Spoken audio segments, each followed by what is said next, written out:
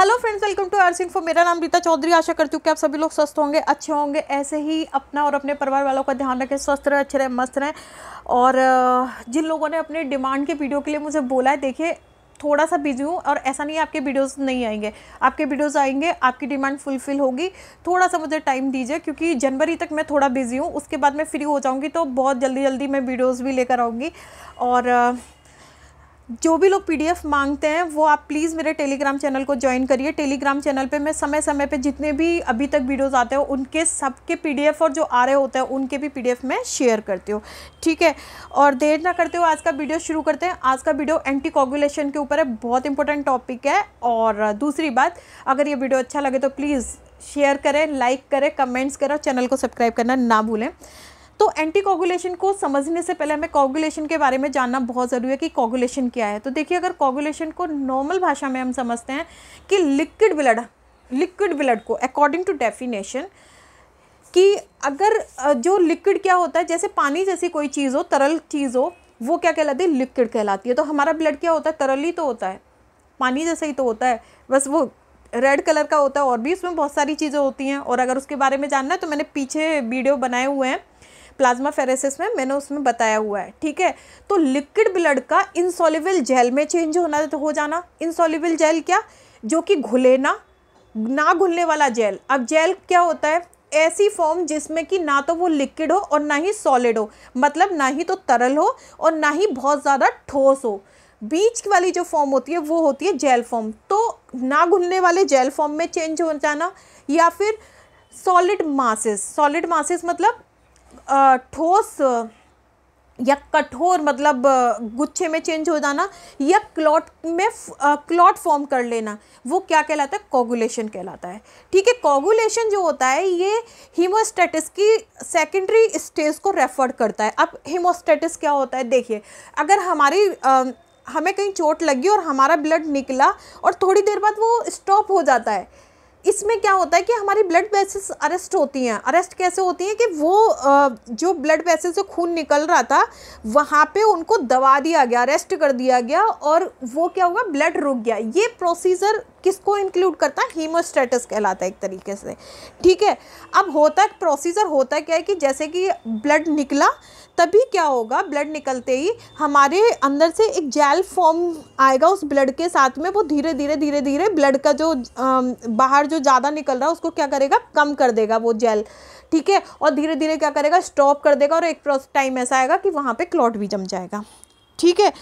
तो इन सबको ये सारा जो प्रोसीजर है जहाँ पे क्लॉट जम गया और हमारा ब्लड रुक गया, इन ये पूरे प्रोसीजर के लिए ना कुछ चीज़ों की नीड होती है। अब वो चीज़ें क्या है? सबसे पहली चीज़ है कोगुलेशन फैक्टर अब कोगुलेशन फैक्टर रियलिटी में क्या है? कोगुलेशन फैक्टर प्रोटीन है। देखिए प्रोटीन का कितना अहम रोल है। हम कुछ भी करेंगे, हमारे अंदर कुछ भी होगा इवन कोविड भी हो रहा है ना, वो भी जो कोविड का कीड़ा भी है ना, वो भी प्रोटीन से डेवलप है। क्योंकि डॉक्टर जो भी एंटी नोड बनाते हैं, वो कैसे बनाते हैं कि भाई, ये इस पर ये प्रोटीन कोविड कर रही है अच्छा तो हम इसकी, ये प्रोटीन को यूज़ करते हैं, ये प्रोटीन इसको मार सकती है। तो समझ रहे हैं? कितना बड़ा रोल है प्रोटीन का। तो ऐसे ही जो कोगुलेशन फैक्टर के लिए क्या है? कोगुलेशन फैक्टर ओरिजिनली क्या है? प्रोटीन है। ठीक है? तो ब्लड को रोकने के लिए हमें कोगुलेशन फैक्टर की नीड होगी दैट इज़ प्रोटीन एंड ये कहाँ पे फॉर्म्ड होती हैं? ये जितनी भी प्रोटीन है, ये कहाँ होंगी? लिवर में होती है हमारे में, ठीक है? नेक्स्ट आता है, हमें कैल्शियम की नीड होगी. एंड थर्ड क्या है? फॉस्फोलिपिड्स की नीड होगी. फॉस्फोरस प्लस लिपिड के मिक्सचर को फॉस्फोलिपिड बोलते हैं, ठीक है? अब more than thirty types of cells और सब्सटेंसेज जो होती हैं ब्लड क्लॉटिंग को इफ़ेक्ट करती है। और जो ब्लड क्लॉटिंग का जो प्रोसीजर है, वो इनिशिएट कहाँ से होता है? शुरुआत कहाँ से होती है क्लॉटिंग की? वो शुरुआत होती है ब्लड प्लेटलेट से। अब ब्लड प्लेटलेट्स क्या है? देखिए three types of blood blood में तीन तरह की सेल होती हैं डब्ल्यू बी और प्लेटलेट्स तो जो ब्लड क्लॉटिंग को रोकने का जो प्रोसीजर है, वो कहाँ से शुरू हो रहा है? प्लेटलेट से शुरू हो रहा है। अब बात आती है प्लेटलेट्स से क्या होता है। ठीक है, अब यहाँ पर हम समझ लेते हैं कि प्लेटलेट्स आखिर करती क्या है। देखिए आप ये एज्यूम करिए कि आपकी ये वेन है और यहाँ ये आपकी वेन ये आपकी वेन है और यहाँ से ये कट गया। अब कट गया तो क्या होगा? यहाँ से ब्लड आएगा, ठीक है? अब जैसे ही ब्लड आता है आपका, तभी ये प्लेटलेट्स क्या करती हैं? ब्लड प्लेटलेट्स क्या करती हैं? अच्छा खून निकल रहा है। तो ये क्या करेंगी? ये एक प्रोटीन निकालेंगी, जिसको हम क्या बोलते हैं? प्रोथम्बो प्रोथ्रोम्बिन प्लास्टिन ये प्रोटीन क्या करती है? ये प्रोटीन इस कैल्शियम के साथ मिलती है और एक नया सब्सटेंस बनाती है, जिसको हम क्या बोलते हैं? थ्रम्बोप्लास्टिन मतलब प्रोथम्बिन प्लास्टिन किसमें चेंज हो गई कैल्शियम के साथ मिलकर थ्रम्बोप्लास्टिन में। अब ये थ्रम्बोप्लास्टिन क्या करेगी? ये थ्रम्बोप्लास्टिन फिर बाद में कन्वर्ट्स होके किसमें चेंज हो जाती है? प्रोथम्बिन में। ठीक है? जैसे मैंने यहाँ पे बताया इंजर्ड टिश्यू होगा ब्लड प्लेटलेट्स यहाँ से इंजर्ड टिश्यू होगा, यहाँ से ब्लड आएगा रिलीज़ होगा, यहाँ से कैल्शियम प्लस प्रोटीन मिलेंगी और ये ब्लड प्लेटलेट्स क्या छोड़ेंगी? हमारे प्रोथोम्बिन प्लास्टिन छोड़ेंगी। ठीक है? इसके बाद ये प्रोथोम्बिन प्लास्टिन थ्रोम्बोप्लास्टिन में चेंज हो जाएगा, फिर ये प्रोथोम्बिन में चेंज हो जाएगा। इसके बाद फिर से ये कैल्शियम के साथ मिलेगा, प्रोटीन और थ्रोम्बिन प्लास्टिन के साथ मिलके ये क्या बना देगा? थ्रोम्बिन बना देगा। अब ये थ्रोम्बिन जैसे ही बन जाएगा तो थ्रोम्बिन के बाद फाइब्रिनोजन बन जाएँगे। अगर आपने ट्वेल्थ क्लास में पढ़ा हो तो फाइब्रिनोजन में अब वो क्या दिखाते हैं? जाला जाला सा जो दिखाते हैं ब्लड का। अब ये फाइब्रिनोजन किसमें चेंज हो जाएगा? फाइब्रिन में। अब ये जो फाइब्रिन है, ये क्या करती है? ये फाइब्रिन जैसे मैंने यहाँ पर बताया कि ये फाइब्रिन इस तरीके से गुच्छा बनाना शुरू कर देती है, एक जाल बनाना शुरू कर देती है। ठीक है, जैसे ही आपका ब्लड जैसे आपकी ब्लड निकला, उसके ऊपर ये जाल बनाना शुरू कर देगी इस तरीके से। उससे क्या होगा कि जो ब्लड आ रहा है ना, वो बाहर नहीं आएगा और ब्लड क्या हो जाएगा? रुक जाएगा। ठीक है, ऐसे रुक जाएगा, क्योंकि इतना बड़ा नेटवर्क जो बनना शुरू हो गया। अब जब रुक जाएगा तो जो रुक गया ब्लड ये पूरा मतलब निकला और रुक गया, ये पूरा प्रोसीजर क्या कहलाया? कोगुलेशन कहलाया। ठीक है? तो अब यहाँ पे हमारा क्या हो गया? ये प्रोसीजर ख़त्म हो गया और ये हमारे ब्लड निकला और रुक गया, ये प्रोसीजर क्या कहलाया? कोगुलेशन कहलाया। यहाँ पर भी मैंने पूरा दे रखा है तो आप दोनों डायग्राम को देख सकते हैं और अगर ना भी समझ में आए तो प्लीज़ आप मुझे बताइएगा, मैं ज़रूर बताऊँगी आपको। ठीक है? और हाँ एक चीज़ और रह गई इसमें कि जो क्लॉट ये जमा, ठीक है? इस तरीके से जो मैंने क्लॉट फॉर्म किया है, इसको कुछ कहते भी हैं थ्रेड लाइक स्ट्रक्चर को। इसको हम बोलते हैं फाइब्रिल्स ठीक है? फाइब्रिल्स बोलते हैं। ठीक है? तो ये थोड़ा सा और है, ये आप पढ़ सकते हैं। क्योंकि सारी कुछ चीज़ें बताना तो मेरे पॉसिबिलिटी नहीं है, इतना टाइम भी नहीं होता। अब यहाँ पर हम देख सकते हैं कि क्लॉटिंग फैक्टर प्रोथोम्बोप्लास्टिन थ्रोम्बिन में चेंज हो गया फाइब्रोनोजन में ये दूसरा स्ट्रक्चर दिया है, जिसमें बता दिया कि भाई ब्लड निकला और ये सब हुआ। तो आप प्लीज़ देख लीजिएगा, अगर नहीं आएगा समझ में तो मैं ज़रूर बताऊँगी। अब देखिए ड्यूरिंग डायलिसिस के समय आप कैसे पता चला सकते हैं कि भाई यहाँ पे ब्लड क्लॉट हो गया या कैसे? कौन कौन से प्रोसीजर अब आप विजुअल इंस्पेक्शन कर सकते हैं। विजुअल इंस्पेक्शन कैसे? कि आप देख के पता कर सकते हैं कि हाँ भाई ब्लड क्लॉट हो रहा है। अब देखेंगे कैसे, अगर आप सर्किट में देख रहे हैं एक्स्ट्रापोरियल सर्किट में देख रहे हैं कि बहुत ज़्यादा ब्लड क्या हो रहा है? डार्क कलर का होता है। डार्क वैसे कैसा होगा? बहुत लाइट कलर का ब्लड आपको दिखाई देता है, लेकिन यही ब्लड अगर आपको बहुत ज़्यादा डार्क सा दिखाई देने लगे और ऐसा लगे कि भाई कहीं क्लॉटेड सा हो रहा है ये ब्लड गाढ़ा गाढ़ा सा दिखने लगे इट मीन्स कि ये क्या हो रहा है क्लॉट हो रहा है।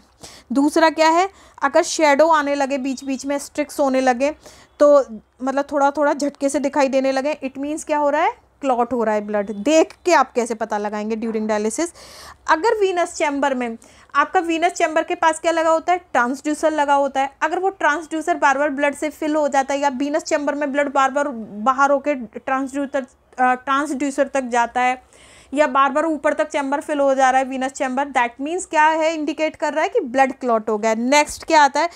अगर क्या होता है? टिटरिंग हो जाए। टिटरिंग क्या है? कि ब्लड जो होता है, वो जैसे अगर वीनस चैम्बर में ब्लड हो जाता है समटाइम क्या हो जाता है कि ब्लड कहाँ क्लॉट हो जाता है? वीनस चैम्बर में।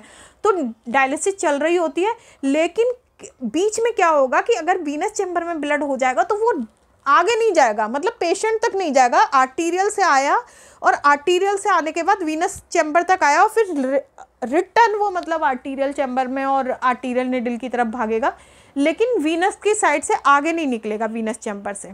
ठीक है, ये क्या कहलाता है? प्रोसीजर टिटरिंग कहलाता है। अब ऐसी कंडीशन में भी आपको पता लग सकता है कि ब्लड क्लॉट हो रहा है। नेक्स्ट क्या हुआ?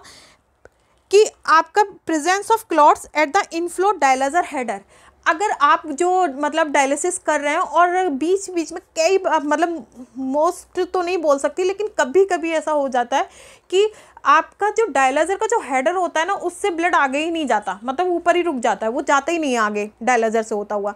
तो दैट सिचुएशन में क्या इंडिकेट होता है कि भाई डायलाइजर में ब्लड क्लॉट हो चुका है?